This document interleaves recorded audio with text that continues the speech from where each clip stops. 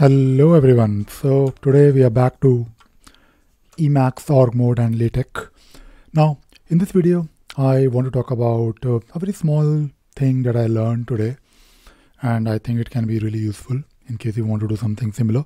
Now if you have been following my, my, my channel for a while I, I, guess you know that I'm so I, I write books. I'm an author. I mean this is something that I do as part of my other things so I'm I'm, an, I'm, a, I'm a consultant. I work with organizations. I provide my services, but uh, writing book is something that I really enjoy. Now, I am trying to now publish my book, self-publish my book on Amazon, and uh, on Amazon, of course, you can uh, create ebook, which I did many years ago. But now I'm planning to create or publish a paperback-based book, and uh, I'm hoping that I can use LaTeX export from org mode and I will of course generate PDF file which I will of course upload it to Amazon. So I'm not really sure how it will work exactly. I, I guess PDF is accepted format. I checked it online on their website. But the thing is that when you are working with PDF and if, when you're trying to upload it on uh, Amazon, you will have to set the margins. Now, if you look at this, this particular export file, it looks good. Nothing wrong with it. It is, I mean, of course, uh, it is the default output. I mean, not really a default output. I have modified few things, but uh, more or less, I have not really touched any margin. Now, if you're trying to generate a PDF file, so this PDF file looks okay, but uh, the thing is that if you go further, by the way, you can look at my nice face.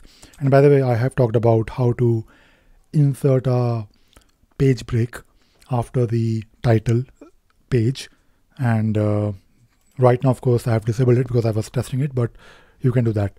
And uh, if you look at the images so this particular document looks fine but when you have images then images are of course shrunk further. And I don't really want that. I want the images to take more space. So I did of course you know some online research and I found that uh, there is a package in LaTeX called geometry and it can do few things. I mean in, you know in fact it can do a lot of things for you. And uh, if you search online you will find a couple of examples where people have shown how you can set the margin. And by the way if, if you have been following my channel and if you have watched my previous videos on uh, LaTeX and by the way don't worry about this um, missing image. I will make another video on how to combine or consolidate multiple org files to create one PDF file. And uh, you have to of course ensure that the images work when you are including other org files because the paths are not absolute. So we'll, we'll probably talk about it in another video. But uh, today I want to simply change the margin. I want to basically reduce the left margin and right margin. So for doing that, I will use my, and by the way, the way I use uh, LaTeX, I have setup file. And by the way, I have covered setup files, how it works. But uh, what I will do is I will go to this particular file and uh, I will then modify just one line which I already have by the way in my in my setup file. So this is nothing but you know different latex headers that I can pass. And what I what I simply need to do I need to use this package called geometry. And uh, you can specify the margin. Like for example by default it could be one inch or maybe a bit less. So if I maybe save this file and if I go back control C control E L O and it, it will of course then create this uh, PDF again. It will ask me to overwrite this. Yes so this is the current or the old PDF file. I'll probably say yes because I want to overwrite it. And now you, you can see the margins are now different. And it looks better right? It looks uh, definitely more filled up. So the simple thing, very simple, uh, simple um, line. But of course, you can do more. I mean, uh, it is right now. I'm just using margin like one inch, one inch, which is of course going to do it.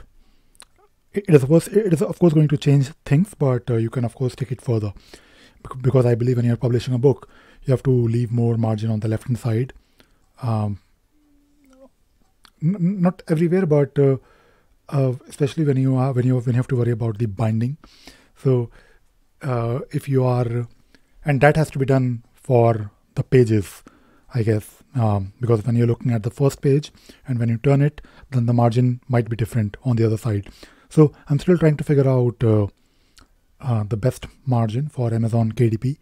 I'll probably leave more margin than needed so that uh, you know when the book is, when the book is printed, um, there is no like cutting. There's no um, it's something called as bleed, I guess.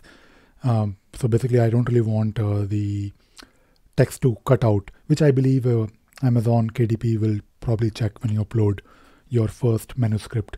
So a simple thing, but I think this can be useful. You can of course search online for geometry package, and uh, if you're using LaTeX, by the way, standalone, great.